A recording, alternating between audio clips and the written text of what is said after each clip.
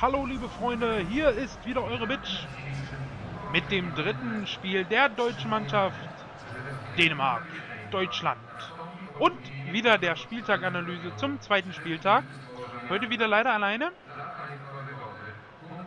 und wir fangen auch direkt an. Heute gibt es keine Hymne. Hier die Aufstellung der Dänen.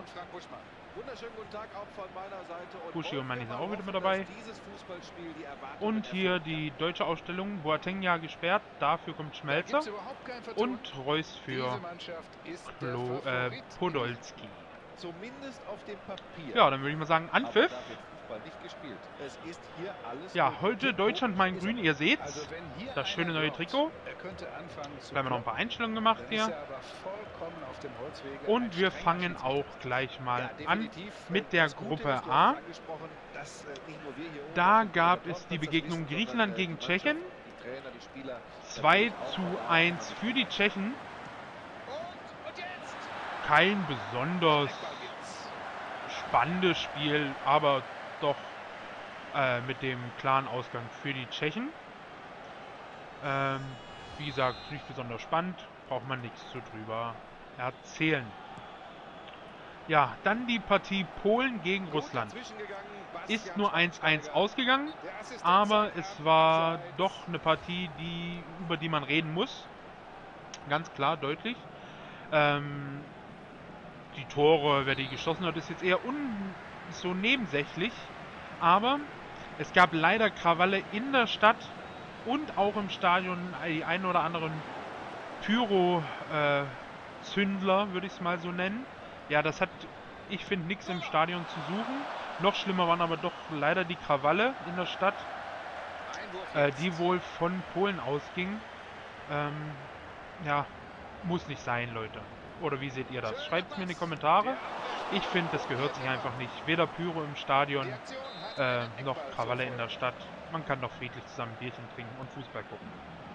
Ja, hier eine schöne Chance. Ha! Und dann kommt da so ein Schüsschen bei raus. Ah, nee. Ja, das gibt dann in der Gruppe A Russland vorne mit vier Punkten vor Tschechien mit drei und Polen zwei Punkte. Griechenland nur noch mit minimalen Chancen ein Pünktchen. Äh, das wäre dann auch äh, recht schwer, da Griechenland gegen Russland ran muss und die Tschechen gegen Polen. Da ist bei den Polen-Tschechen noch alles offen, wie ich finde. Und ja, Griechenland mit Außenseiterchance. Dann kommen wir mal zur deutschen Gruppe. Ja, während hier die Abwehr irgendwie ein bisschen schläft.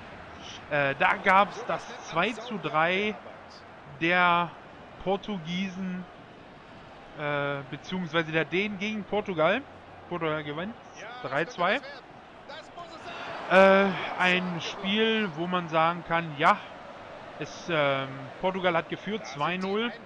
Die Dänen dann mit einer schönen Aufholjagd wenig Chancen gehabt, die aber effektiv genutzt, muss man klar und deutlich sagen. Und dann doch äh, kurz vor Ende, glaube ich, war es 10 Minuten vor Schluss, die Portugiesen mit dem 3 äh, zu 2.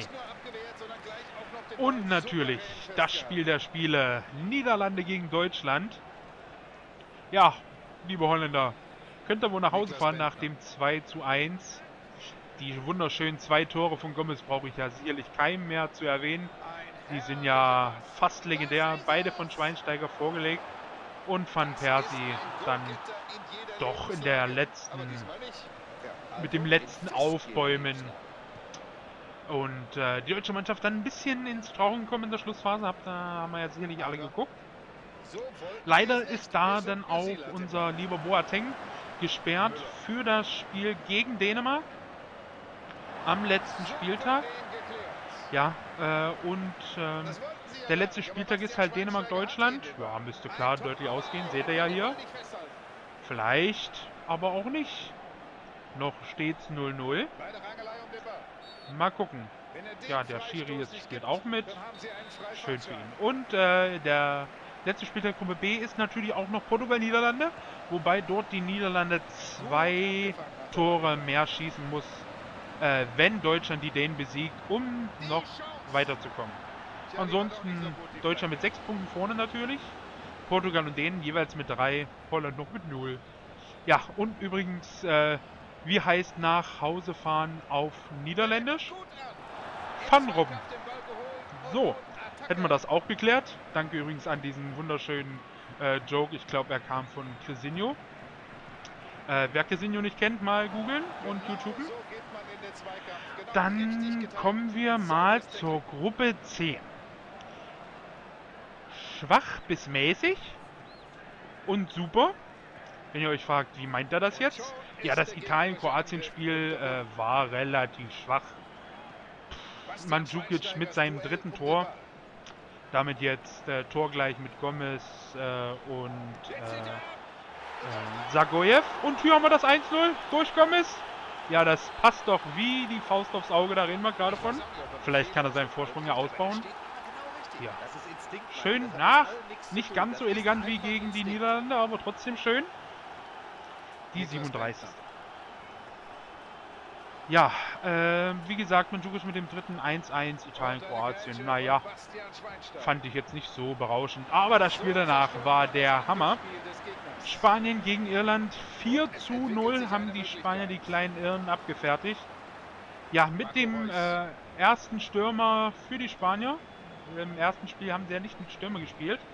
Fernando Torres mit zwei Toren in diesem Spiel. Äh, wunderschön gemacht, auch äh, spielmäßig und äh, passmäßig. Und da kommt das zweite Tor. Gomez! 43. Ja, Wahnsinn. Mensch, läuft doch hier wie geschnitten Brot. Ja, schön geguckt und dann die Ecke ausgesucht. Was will man mehr? Gleiches Halbzeit. Ja, da müssen die Dänen aber nochmal, wenn sie wollen und so. Da sind wir Deutschen doch schon die bessere Mannschaft. Spielt stark in Grün. Ja, dadurch ergibt sich in Gruppe C, äh, dass Spanien und Kroatien mit jeweils vier Punkten, äh, Spanien mit dem besten Torverhältnis vorne sind, dann Italien mit zwei Punkten und Irland schon leider raus. Sie können schon nach Hause fahren. Von daher sehe ich auch das Spiel Italien gegen Irland am letzten Spieltag nicht wirklich gefährlich für die Italiener. Kroatien gegen Spanien am letzten Spieltag könnte interessant werden. Most man darum? Wird das so ein äh, Hin- und Her-Geschubse, damit beide weiterkommen? Oder hat da Italien noch die Chance? Ja, hier. Oh, was ist das denn für eine Abwehr? Und da gibt es den Pass auf Özil und Tor! 45. mit Salto. Mensch. Wahnsinn. 3-0 zur Halbzeit. Ja, wunderschön zurück. Und dann... Also, Buschi nimmt mir die Worte aus dem Mund. Ja. Gigantisch. Hoffen wir mal, dass es am Sonntag auch so wird. Ja, da ist die Pause und das lässt uns Zeit, zur Gruppe D zu kommen. Ja, da ging es erstmal los mit einem dicken, fetten Unwetter im Spiel Kroat äh, nee, Ukraine gegen Frankreich, was die Franzosen 2-0 dann gewannen. War nach 4 Minuten und 14 Sekunden erstmal Abbruch durch ein Riesenunwetter, Blitz, Donner, Hagel, Tampons, alles flog rum. Also war Wahnsinn. Das Ganze für etwa eine Stunde. Hier nochmal die schönen Highlights zu sehen. Äh, ja, und Frankreich danach die bessere Mannschaft. Äh, Ukraine auch mit Chancen. Äh, aber dann klar und deutlich ein 2-0. Ja, und gerade zu Ende gegangen. Wenn ihr das hört, ist es schon morgen. Also gestern. Äh, England gewinnt 3 zu 2 gegen Schweden. Und damit ist auch leider Schweden raus. Hier wechsle ich mal aus. Ja, der Klose kommt. Äh, kann man schon mal dem Gomez gönnen. Ja, also wie gesagt, leider Schweden raus schon. Frankreich und England mit vier Punkten, auch dort äh, an der Spitze wieder zwei Punkte gleich.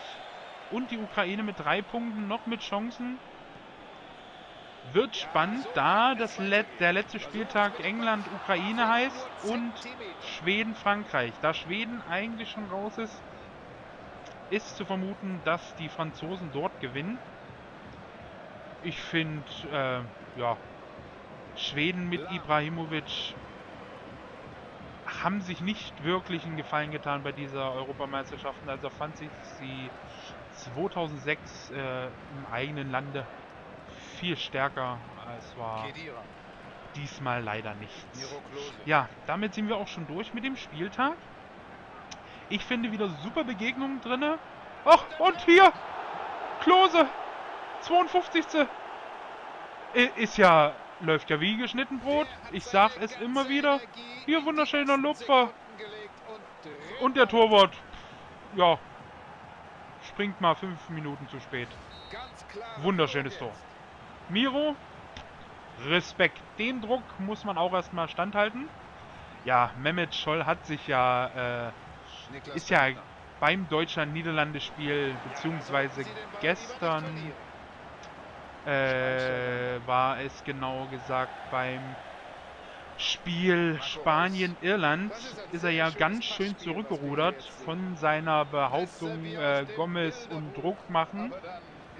Ich muss sagen, wat, also entweder ich stehe zu meiner Meinung, ja, und er, Mehmet Scholl sagt natürlich, er wollte ihn anstacheln, ja.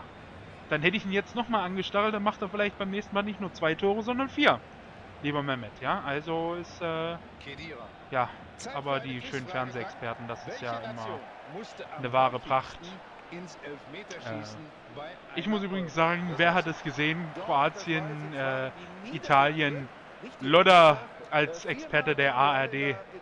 Wunderschön. Also, ich hoffe ja mal irgendwann, dass doch noch Lothar Matthäus mit, ja, 75 deutscher Nationaltrainer wird. Spätestens, oh hier wunderschön trickselt äh, Müller rum, aber kommt leider nicht durch. Ja, kann man nichts machen. Also wenn das denn Lothar eintrifft hier mit 75 deutscher Nationaltrainer, wandere ich aus. So, das sei mal gesagt, da könnt ihr mich drauf festnageln. Ja, ähm, im Übrigen, die Spiele von äh, Gruppe A und Gruppe B werden dann in Danzig bzw. in Warschau ausgetragen. Ich hoffe ja, dass wir vielleicht den Russen ein bisschen aus dem Weg gehen können, wie auch immer das aussieht. Tschechien, Polen und Griechenland finde ich jetzt nicht so berauschend. Die können wir auf jeden Fall immer schlagen. Oh, hier! Eieiei, Schwein gehabt. Da werden die Smörrebröts aber nochmal äh, rangekommen nicht, aber sie hätten auf jeden Fall mal ein Tor geschossen. Ja, da geht Romedal und Schöne kommt. Aber das ist nur noch Kosmetik, denke ich mir mal. Bei einem 4-0 20 Minuten noch zu spielen. Das packt er, Jungs. Ja, wie gesagt, also ich hoffe, dass wir da Russland aus dem Weg gehen können. Äh, die Spiele der Gruppe C und D, ähm, die aufeinandertreffen, werden in Donetsk und Kiew ähm, abgehalten. Da fände ich es dann schon sehr spannend.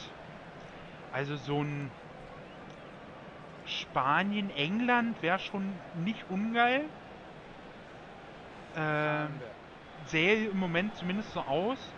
Und Frankreich, Kroatien, beziehungsweise vielleicht in Italien, Frankreich. Warum nicht? Kann man sich mal angucken, finde ich, ne? Also wäre schon sehenswert. Ja. Dann nochmal einen äh, großen Dank an äh, The Fösel äh, für die Videoantwort. Ähm, danke dir, wie gesagt, und äh, mach weiter so. Äh, hab mir von dir viel abgeguckt. Das nur mal als kleiner Gruß äh, rüber. Ja, hier! Da wollte man wohl zaubern, oder wie? Naja. Ah, Kann man effektiver lösen, auf jeden Fall. Ja, die Deutschen spielen jetzt hier doch, ja, schon zurückhaltend, würde ich sagen. Da ist, das Ding ist gelutscht. Äh, hört sich irgendwie falsch an, aber anyway. Ja, hier kommen wir. Ja, schön aufpassen, Jungs, genau. Ja, Yogi, ich bin ja mal gespannt, ob die Aufstellung der deutschen Mannschaft so zutreffen wird, wie wir sie hier orakeln. Ei, das ist abseits. Da geht die Plane ganz schnell hoch. Ja, wie gesagt, äh, Boateng ja gesperrt. Hoffen wir, dass kein äh, Deutscher sich äh, gelb abholt oder rot. Ich weiß gar nicht, wie das ist mit der äh, Streichung der Karten, äh, ob das da so auch zutrifft. Ja, hier einfach mal ein Schüsschen. Äh, wenn ihr es wisst, könnt ihr es mir in die Videokommentare schreiben. Da bin ich jetzt nicht so konform drin. Klose nochmal mit der Chance in der 87. Ja, knapp vorbei ist auch daneben, aber er hat ja sein Tor. Hier, da wechseln wir nochmal aus. Fragt mich nicht, warum ich das mache und gerade ihn. Wir nehmen hier Kedira raus und dafür kommt der Pierre, der Mertesacker. ja, kann man mal machen, muss man nicht, ne? Und so. Ist halt doch schon irgendwie komisch, diese Auswechslung. Fragt mich, wie gesagt, nicht. Ich weiß es nicht, warum ich das gemacht habe. Äh, ja, muss man nicht. So. Ja, dann, also wie gesagt, also ich muss ja sagen, mein Favorite-Spiel des äh, Spieltages war Schweden-England. Ging hin und her, wunderschön. Erste Halbzeit war noch langsam, aber dann richtig klasse Spiel. Äh, Nochmal so als Nebenbemerkung. Ganz große Klasse. Die Schweden nun leider raus. Genau wie Irland, mein Team der Herzen. Ja, mal gucken, wen es als nächsten trifft. Äh, morgen geht es ja schon wieder los mit Gruppe A. Beziehungsweise heute, wenn ihr das seht, liebe Freunde der gepflegten Unterhaltung. Vielleicht das nächste Spiel dann auch wieder mit dem Tiborius, den ich hier an der Stelle herzlich grüße. Er hatte leider keine Zeit. Äh, und äh, das Spiel, was wir orakelt haben, das äh, war so fail, das konnte man keinem antun. Ja, ich war nicht schuld, er, er, ein, ein, alleine. So, und dann ist das Spiel auch vorbei. 4-0 gewinnt Deutschland also gegen Dänemark. Würde ich sagen, kann man so lassen, nicht? Die deutsche Mannschaft in ihrem grünen Trikots mit einem schönen Sieg. Und damit sage ich Tschüss, Servus, äh, Pfitte, genau wie Manny Beugmann und äh, so. Sage ich Tschüss, Servus, Baba und wir sehen uns beim Spiel Deutschland, Polen? Fragezeichen. Eure Gameboy Bitch.